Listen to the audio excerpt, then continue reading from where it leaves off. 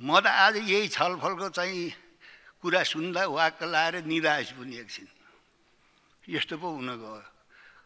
रमाइलो छैन संसद। दिक्क लाग्दो छ। त्यस कारणले यहाँ कुराहरू धेरै आए। नेपालको संविधानको संविधानमा व्यवस्था गरिए बमोजिम समाजवाद उन्मुख शासन व्यवस्था निर्माणको लागि बजेटमा त्यस सम्बन्धी ठोस कार्यक्रममा व्यवस्था गरिनु पर्थ्यो। तर प्रस्तुत बजेटमा समाजवाद उन्मुख दिशामा कुनै कार्यक्रम प्रस्तुत गरिएको छैन। यस्ता छलफल वर्षेनी हुने गर्छ। र अब यहाँ जतिसुकै उफ्रे पनि अर्थमन्त्रीजीले पेस गर्नुभएको बजेट सत्ता पक्षले पेस गरेको बजेट एक सुका एक आना यहाँ जति उफ्री पनि तलमाथि गर्न नपाइने।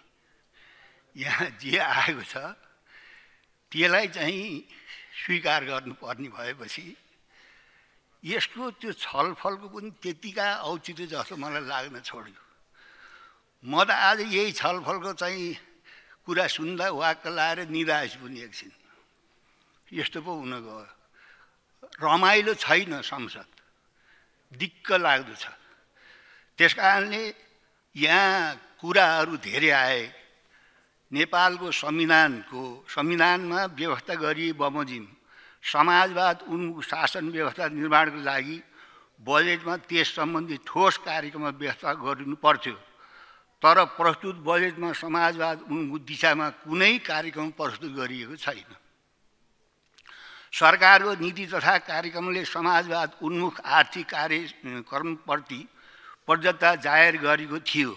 सरकारको नीति र कार्यक्रम बमोजिम आर्थिक वर्ष एकासी बयासीको प्रस्तावित बजेट वक्तव्यले पनि समाजवाद उन्मुख आर्थिक लक्ष्य हासिल गर्नका लागि तदनुको कार्यक्रम बजेट विनियोजन गर्नु पर्थ्यो। तर बजेटले समाजवाद उन्मुख अर्थतन्त्रलाई हित हुने भन्दा दलाल पुँजीको आगमनको लागि वृद्धिको लागि विभिन्न बाटाहरू खुलेका छन्।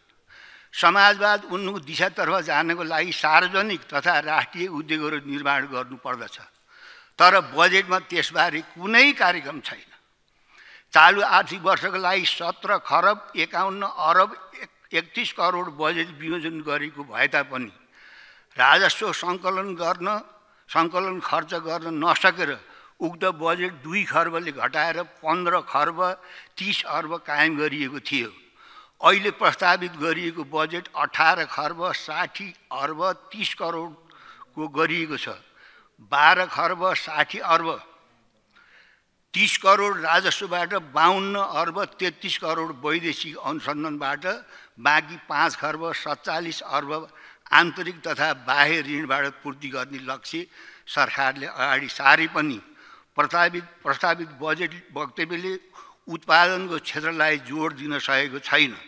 विकासलाई छुट्याइएको पुँजीगत खर्च कुल बजेटको जम्मा अठार प्रतिशत मात्र प्रस्तावित गर्नु तथा प्रशासनिकतर्फ एक एकसट्ठी प्रतिशतभन्दा बढी रकम छुट्याउनुले आगामी वर्षमा प्राप्त हुने राजस्वको स्थिति पनि चालु आर्थिक वर्ष जस्तै हुन आउने छ